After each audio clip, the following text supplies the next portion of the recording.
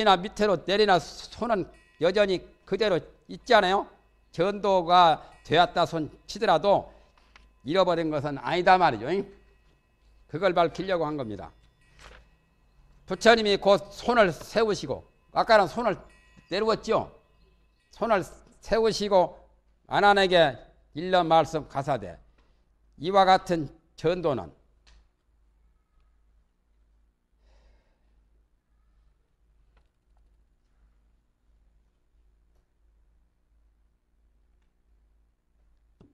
이와 같은 전도라고 보세요.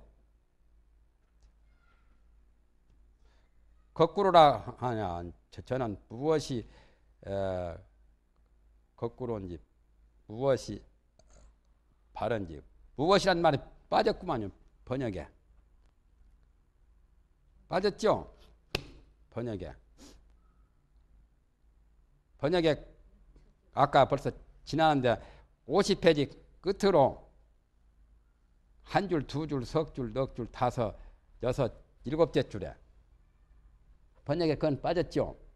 아나니 사료였다 세간 사람들은 이것을 거꾸로라 하거니와 저는 무엇이 바른지 무엇이 거꾸로인지 알지 못합니다.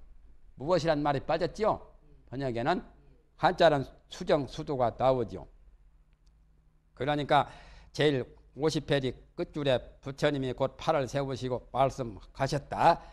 아나나 이렇게 전도하는 것은 수와 미를 서로 바뀐 것이니 머리와 꼬리를 서로 바뀐 거란 말이에요.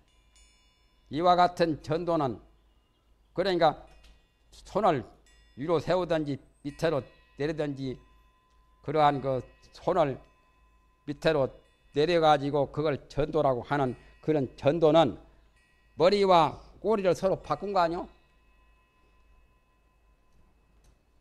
이렇게 하면은 여가 머리인가 여가 꼬리인가 모르겠네요. 예? 손도 그렇지 않아요? 이렇게 했다가 또 이렇게 했으니까 바뀌었죠. 예? 수미를 바꾼 것이지 위로 올라갈 때 이것이 머리가 되었고 또 이렇게 내려가면은 이것이 꼭 꼬리 되고 어떤 게 꼬리인지 볼인지 손가락이 말초 신경이라면 꼬리라고 봐야겠지.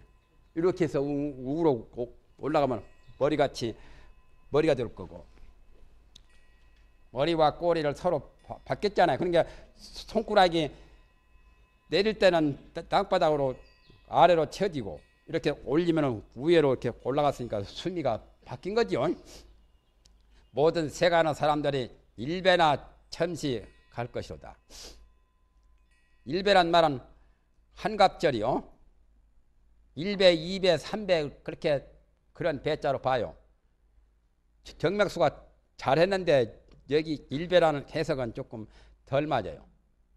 정맥수에서는 이런 같다고 하고 배는 많은 것이라고 하는데 그렇게 하면서 요건 정맥수 해석이 좀 덜 맞는 것 같아요. 고산 원법사 주는 내가 말한 것처럼 일배라고 하면 그냥 하나예요.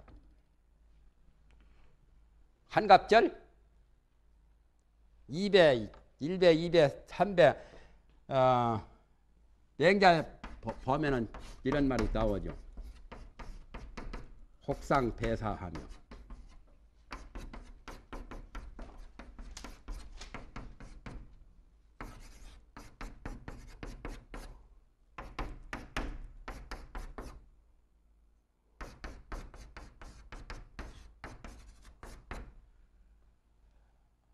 어떤 수량을 비교할 때 맹자 말 가운데 맹자 그래 혹은 서로 갑절이나 하고 어, 오배 사자요.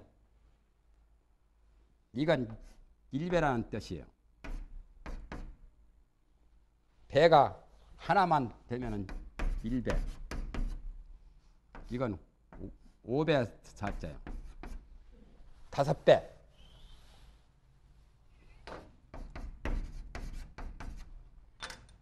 요집 사람들은 1배나 2배나 갔죠? 에? 1배가 뒷고로 2배지요?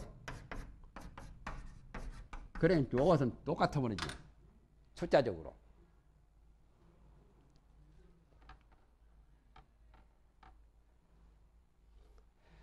가령 하나에다 둘이 있으면은 둘이면은 하나는 단수고 거기다 이제 하- 하나가 더 있으면은 2배지요. 2배도 되고 1배도 되죠. 그건 또 똑같아요. 예? 그리고 이제 세 개가 있으면 3배죠. 네 개가 4배고 5개가 5배가 있으면 이제 5배 4자요. 그런 1배로 봐요. 그러니까 1배는 어, 갑절 그냥 일자 없어도 통합니다. 배라고 가면은 그냥 1배지 뭐 예? 하루에서 이틀이면 배입니다. 배.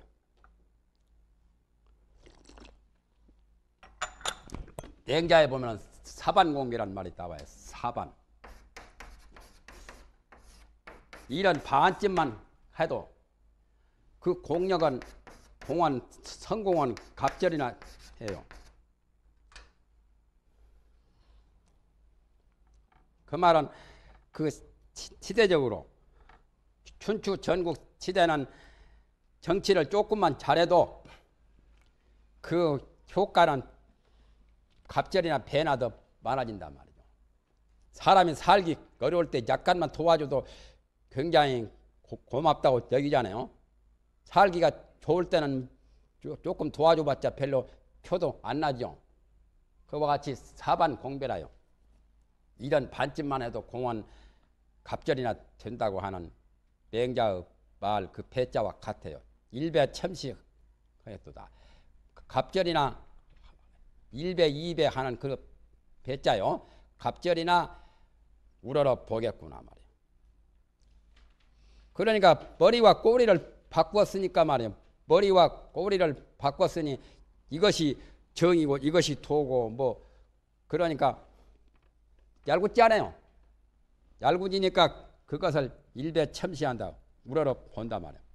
손은 손을 괜히 우로 올렸다 밑으로 내렸다 해가지고 정도를 거기서 판가름 하려고 하는 그런 것은 어, 갑절이나 보통 평상시와 좀 다르기 때문에 우러러 보는 거죠.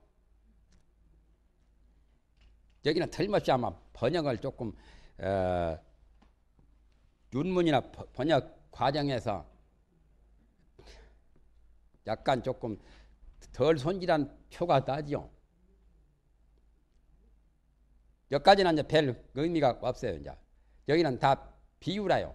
손을 들고 손을 내리고 해가지고 그는 비유로 말했고 그 다음에 이제 본론이 나옵니다.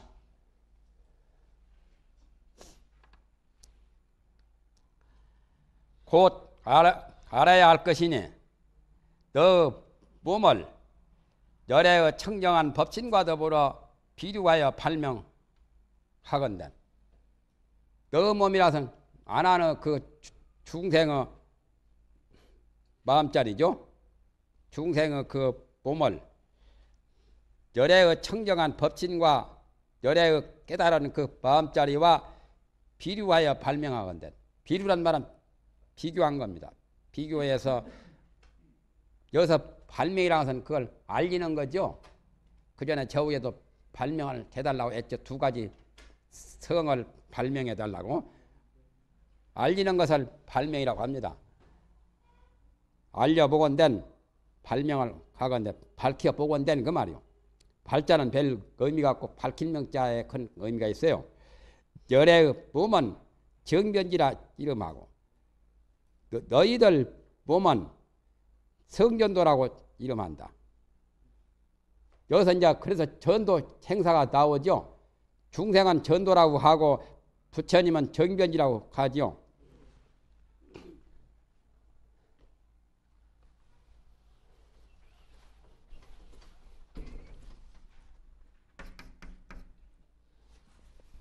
안한과 중생들 여기에 안한도 포함되지요.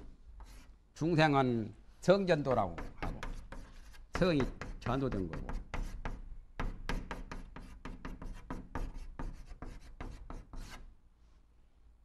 열애는 전도가 아니죠. 여기는 불 부처님은 어, 정변지요. 전도와 반대가 정변지죠. 바르게 두루 아는 정변지. 열애 싶어야 정변지가 나오죠. 열애 응공 정변지.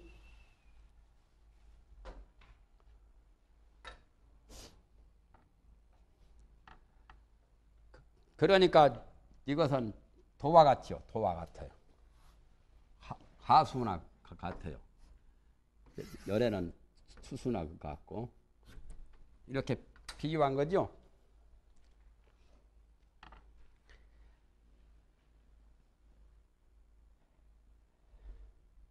그래서 열애의 청정법칙이라고 하는 것은 필요자나 본신체죠. 청정법칙은 어, 그야말로 본래의 유실함도 없고 본래의 본성자리를 청정법신이라고 하죠. 그래서 그 청정법신을 제대로 깨달아서 두루 잘 안다 해서 변지라 하고 또 진리를 바르게 안다 해서 정지라고도 하죠. 정지, 변지. 그래서 정변지고 중생들은 번외 망상, 전도몽상만 자꾸 이렇게 해가지고 마음이 엎어졌다, 뒤집어졌다, 막 어, 질팡갈팡 그러니까 수미를 서로 바꾼 거나 같거든. 그래서 성전도라고 하는 거죠. 여기서 알아야 할 것이 마음이 우주만법을 다 포괄한 것을 통달한 것이 정지가 되고 만법이 다 마음인 것을 통달하는 것이 그게 변지가 돼요. 달 심포 만법이 마음이 만법을 포괄한 것을 통달하는 것이 그게 이제 달 심포 만법이 에, 그것이 바로 정기라. 또달 만법 개심이 만법이 다 마음으로 통달하는 것입니다.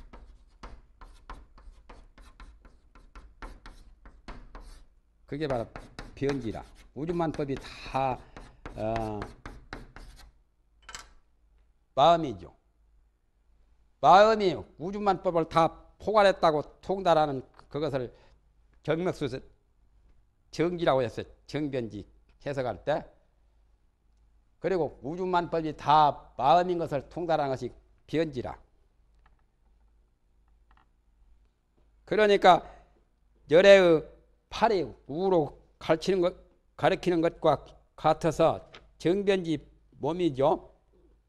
새로 얻은 것은 아니죠. 그 다음에 이제 집, 이건 부처님은 이렇게 가지요. 그 다음에 이제 중생은, 중생은 어, 어떻게 하느냐. 중생은 고집을 하죠.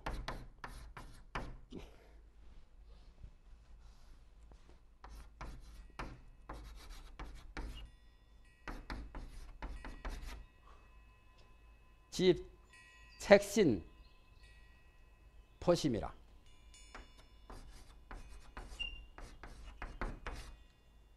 중생들은 우리 육체가 마음자리를 싸고 있다고 하지요. 그렇게 고집을 해요. 그게 잘못 아, 안 거예요. 도지가 돼요. 또, 또, 마음에 또 법이 있다고 또 고집을 하죠. 이도 같이 우주만법이 마음 밖에 법이 있다고 보는 것은 어, 그건 전도니까 전지. 그, 그것이 소위 전지라요. 전지가 그냥 도지라 도견이라고 그냥 해버려도 되겠네. 전자나 도자나 같으니까.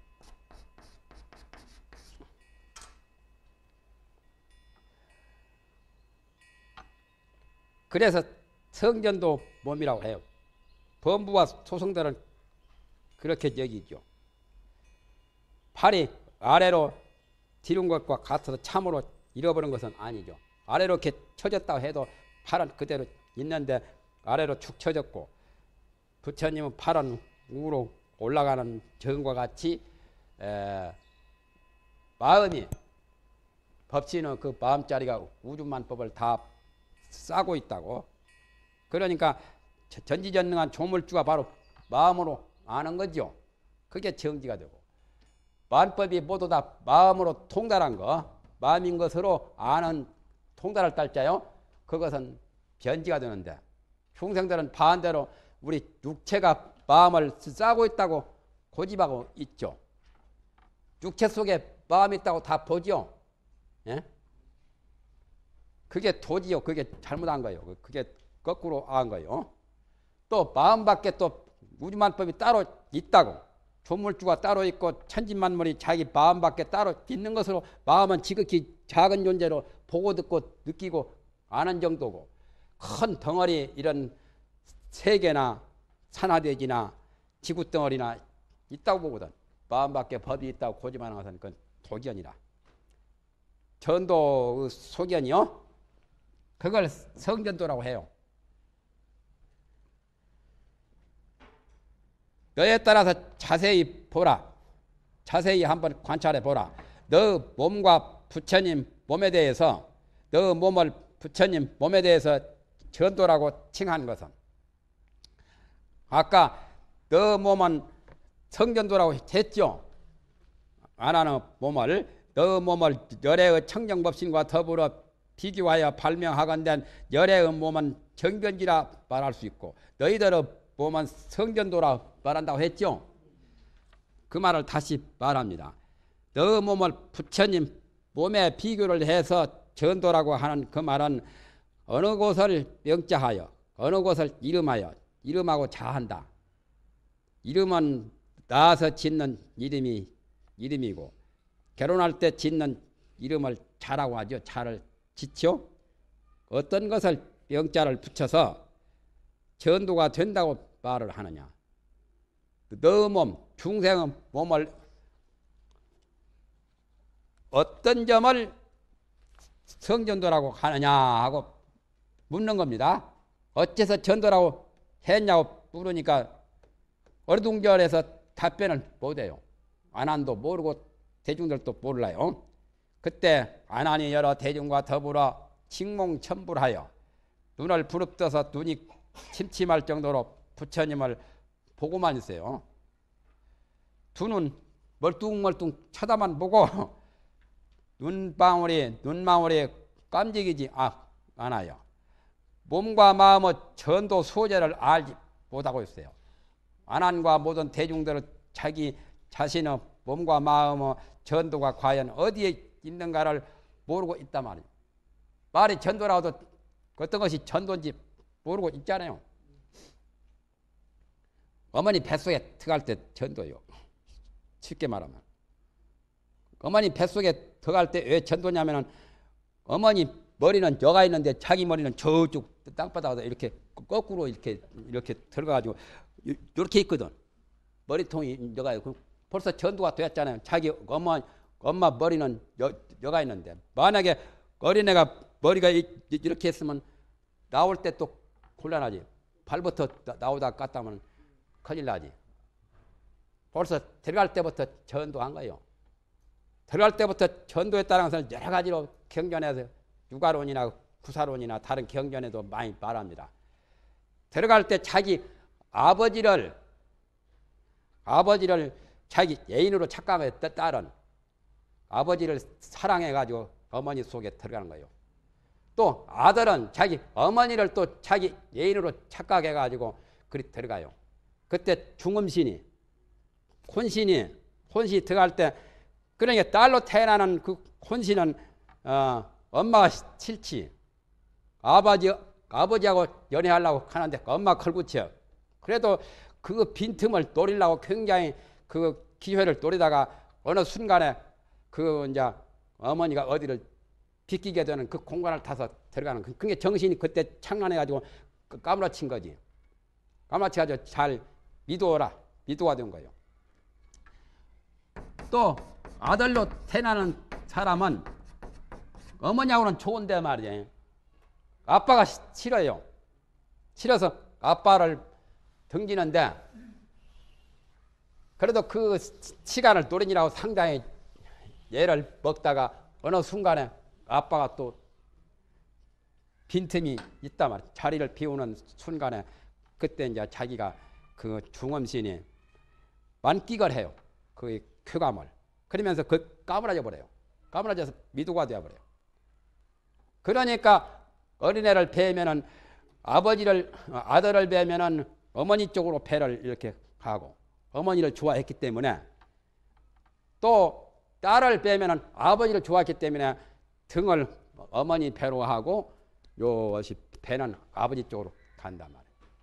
그것도 참 묘하죠. 그래서 총 맞아서 이렇게 총을 딱 쏘면은 저 총 맞아 죽는 것 요즘에 연극 잘 못하는 거예요. 남자는 엎어 죽어요. 어떻게 쏘았든지 죽을 때 엎어 죽고 여자는 엎어 죽지 않고 되집어서 이렇게 죽어요. 여자는 것이 저 의미라서 하늘 양을 이렇게 하늘 쪽으로 향하고 남자는 양이기 때문에 죽으면은 엎어져서 어, 양이니까 땅이 의미거든 땅 쪽으로. 물 위에 떠나려고 하는 시체도 그렇다는데 남자는 이렇게 떠나려고 하고 배가 이 수면 지면 쪽으로 가고 여자는 이제 배가 허공 이 수면 위로 이렇게 떠나려고 한다는데 나는 그건 안 봤어요. 그런 말들이 있어요. 주역 역학 원리로 보면은 그게 당연해요.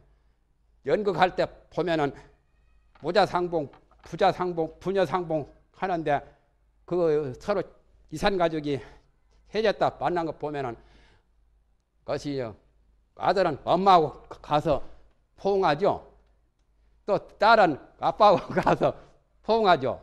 누가 가르친 게 아닌데 어쩌 그런 장면 그렇게 하기 때문에 그렇게 나- 나오잖아요. 음양 원리라. 그러니까 이 음전 양전처럼 음전과 양전은 서로가 이렇게 합하는데 같이 양전과 양전은 서로 이렇게 거부 반응을 일으키고 또 음전과 음전도 이렇게 거부 반응을 일으켜요. 거시도 무정물도 그렇잖아요. 무정물. 자, 자, 자석 같은 것도 쇠만 만나면 쇠 딱 붙는 거죠. 쇠가 붙기도 하고 자기가 붙기도 하고.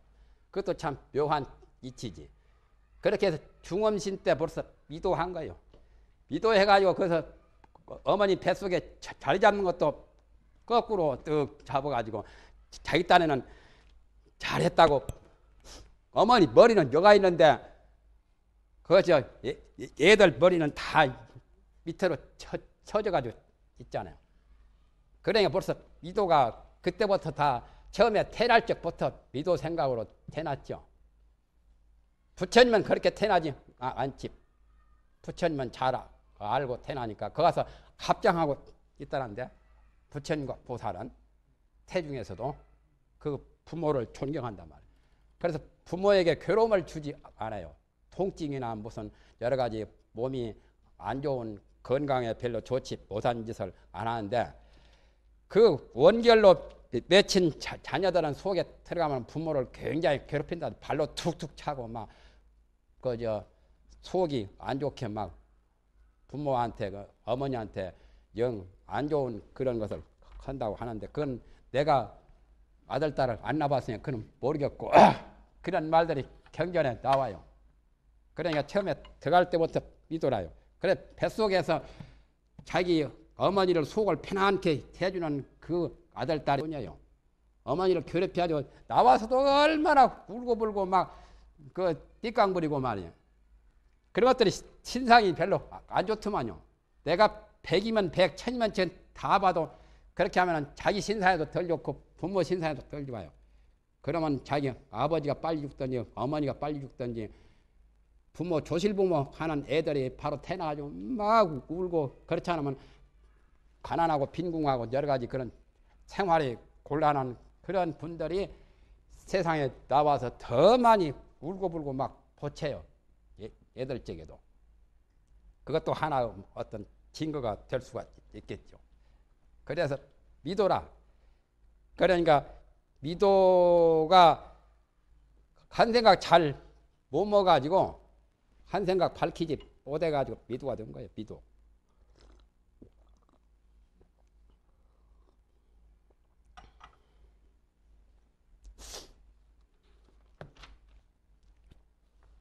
모르면 미아뇨? 가출해서 집을 찾을 줄 모르면 가출한 미아처럼 미아같이 전도 소재를 모르고 있단 말이죠. 그러니까 부처님이 그걸 볼 때 참 굉장히 안타깝지 않아요?